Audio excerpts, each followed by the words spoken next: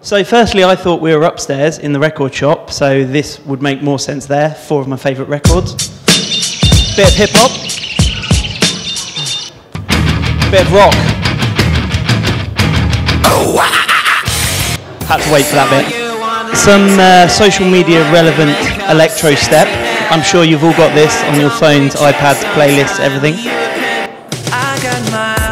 Almost as many memes as he has number ones, and I'm sure you all love him. So, what do all these tracks have in common? Anyone? Good answer. Nothing. And uh, that brings us to tip one consistency equals identity. So, uh, having consistency across everything, we're not just looking at the feed here. Quite a lot we concentrate on here what's our tone of voice? But actually, you set the tone the minute anyone turns up anywhere here the pictures you're looking at, you know, having the Lynx effect rather than just links, anything like that really does set the tone. So consistency, identity. Yeah, there we go, another example. Marmite, lovely. Look, they love their fans. Yay. um, Kit Kat, really nice to the point there in their profile, which comes across nicely in a tweet if you're promoting that. Um, so cool. That was tip number one, by the way, everyone. I, I've been asked to be quick. Uh, I was also asked to do this very last minute, um, so that meant that I'm pretty much going to steal all of this stuff. Uh, so, tip number two steal like an artist in moderation. Uh, I've stolen this uh, from the Austin Kleon book, Steal Like an Artist. I think you can probably see that, you know, good theft, bad theft, if you actually think about a lot of brands through social, they probably fit quite nicely on one of these sides and you can tell who's doing it right, who's doing it wrong. Um, and some really important ones to pull out there studying versus skimming. Those brands that kind of, you know, they're not paying attention all the time. They want to jump on everything. Uh, don't quite make the impact that those that really know it, that study it, are really involved and really in, in what they're talking about. Credit versus plagiarism. Lots of brands starting to go to the front page of Reddit and take their stuff from there, you know, and tweet that out as them. It's not quite their identity because they're taking that from somewhere else. So, you know, really important down the bottom here, I think, on from that, remixing rather than ripping off. So if you can actually take the steer from what's popular and then make it your own, much better than just ripping it off and trying to make people laugh with other people's content.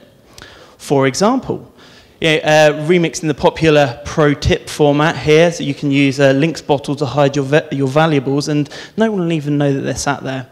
Um, also, rather than tweeting the uh, trailers or anything like that from Grand Theft Auto, how about we take a message and make it our own? Um, so, sorry, girls, bit busy on the release of Grand Theft Auto because we're going to be playing that from Lynx. Less is more. So, that's tip number three being succinct lifted this quote from the Saatchi book uh, and telegrams. You used to have to pay. You used to have to pay per word, so people were very careful about the number of words that they used. A bit like Twitter and the challenge of fitting everything within 140 characters. People used to see that as a challenge. How can we do it? But you know, brands have stood to the challenge and done some great stuff with it. Um, we found that jokes and comedy really work and quite easy to fit within that tweet. So take the joke, sprinkle it with a little bit of the brand, and some great stuff there, nowhere near the 140 characters. Um, here, we, you know, the image says quite a lot, so a nice little intro. Press to unlock, Apple Keynote, put out 10 minutes before potentially Apple were going to release the iPhone 5S, so we, we were quite proud of that one. Luckily, they did do a touch to unlock, or else that could have been awkward. Um, the Grammys, you know, who, who was it that stood out there? Was it fashion, beauty, music, cars, any of the ones that have a real strong association? No, it was food. With just the one line, hey Pharrell, can we have our hat back? Hashtag Grammys. Didn't even include the picture because everyone was talking about it, everyone was there. It was really in the moment, and just that one line got them this. Look, that's great. Um, so that's another tip there. So this tip should have probably been number one know your audience. Uh, we work across a few SM, FMCG brands, SMCG, FMCG brands that have different audiences. So 18 to 24 year old males, uh, 25 to 35 year old females on Flora. Magnum is the 18 to 24 year old female. They all have very different interests girls, gaming, technology, food, health. You can read those, I'm sure. Um, and we need for each of those a unique tone of voice to kind of ladder up to to know we're talking about the right thing each time. Um, so for Lynx, we kind of work to being the cooler older brother. We don't want to be the seedy uncle, especially if we're talking about girls, how to get the girl. Uh, Flora's the helpful mum, who will always help you out with any tips that you need. Um, and then Magnum's the savvy pleasure seeker, so you know, really staying up to date on fashion trends and anything like that, and able to talk um, to their audience in the way that they talk.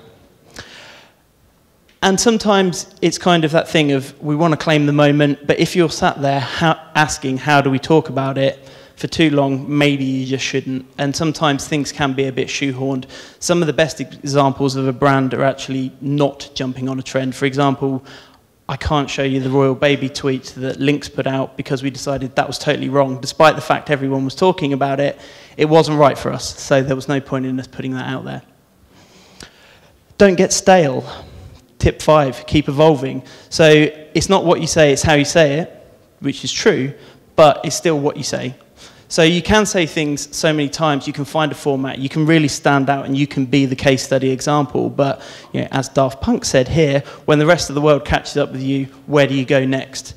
You can't stay around relying on the singular format. The thing that was popular last month probably won't be popular this month.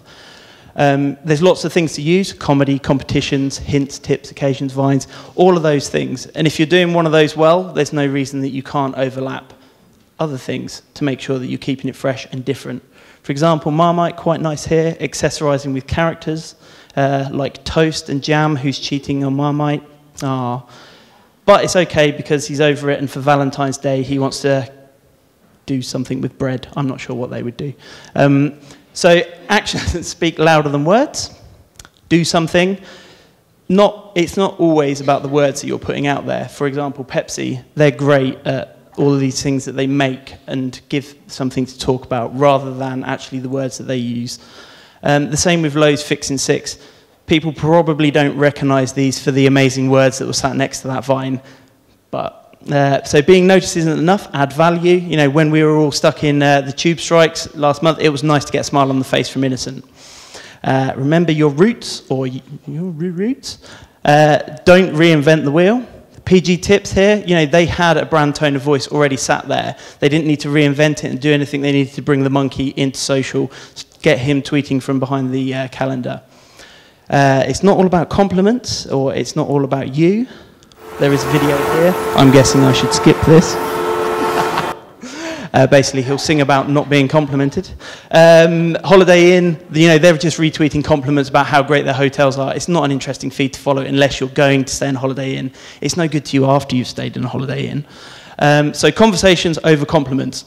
And then, you know, people still talk about the, these days the best Twitter conversations out there, the interbrand banter that they've got. So we, we actually like this stuff and it's not pushed out there by the brands all the time. Uh, you're talking to humans, it wouldn't be right to do this, and it's tip 10. Everyone's different. So, you know, this guy is different to this guy, who is definitely different to this guy. And very good for, here from Tesco's, not always spoken about, but you know, using something as a PR angle, they then you know were talking to this person very differently and defending themselves compared to someone who was worried about the sell by date on the steak. Uh, ASOS, dedicated customer service channel, you know, take the negativity off, wear a different hat. And then what we did on Lynx here with dogging tails, so the conversation was a little bit negative around us, but we didn't ignore that. We kind of jumped in there, had a joke with the people, and, and mimicked the tone that was going on out there with everyone else. So that's my very quick top 10 tips there. So Luke will be happy to finished, and that is tweetable.